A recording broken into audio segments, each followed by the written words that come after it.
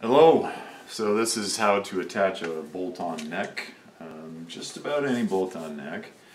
And what I want to point out first is that you never, you're never going to try to jam it in this way. Sometimes that'll work if you've got a really like oversized neck pocket, but hopefully it won't go that way, so don't try to force it because this is actually a trapezoid and you may not notice it here, but if you look at the heel, the width of the heel here, and then if you go up here to the nut, you can see it is tapered. It gets skinnier as it goes, so that is trapezoidal. So, you're going to, you always push it in from the top. Okay, so, and sometimes it's a, ideally that would be a, a nice snug fit where you just have to put just a little bit of pressure to get that in the pocket. Um, you shouldn't have to force it in, but and for this, often I would use a guitar vise like this one, but um, most of you this summer are not going to have that, so I will show you just how to do that laying down. So do make sure that I just told you not to push it in this way, but there is sometimes some wiggle room, so it comes in from the top, like so.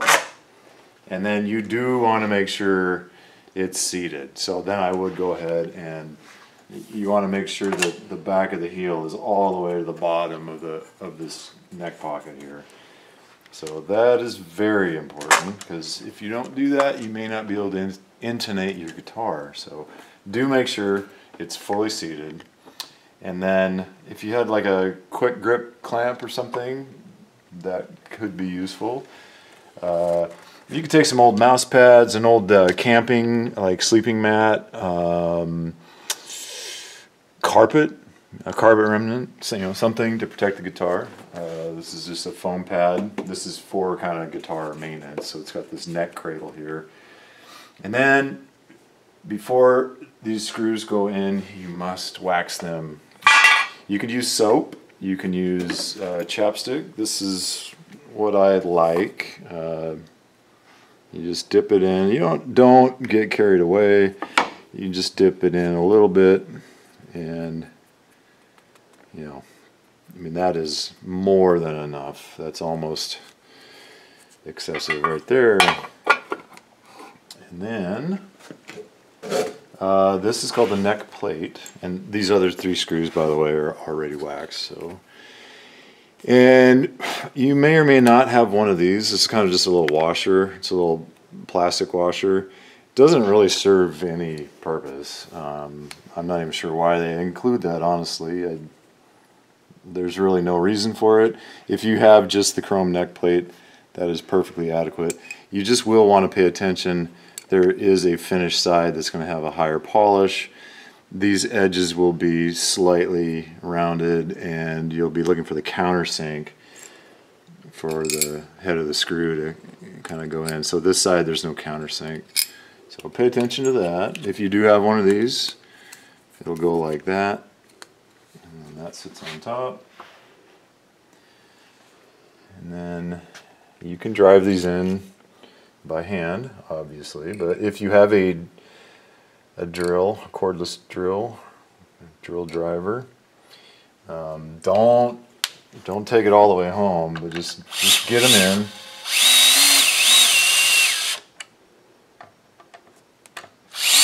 And I'm going diagonal here.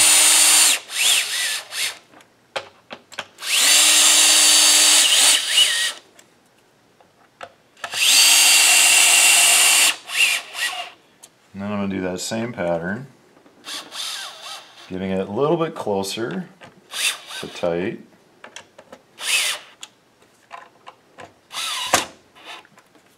And just going to make sure there's no funny business. I'm to look here again, make sure that is tight. And then at this point, I'm to go ahead and snug them up a bit more. But I don't, I really don't want to do the final tightening. Um, with with a cordless drill.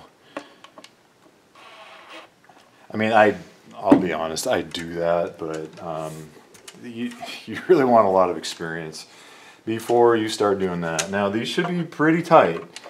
So I would do the final tightening by hand because you can feel it a lot better. And so I have that, but most of you won't have that. So we'll go ahead and put it down. And you want them pretty snug.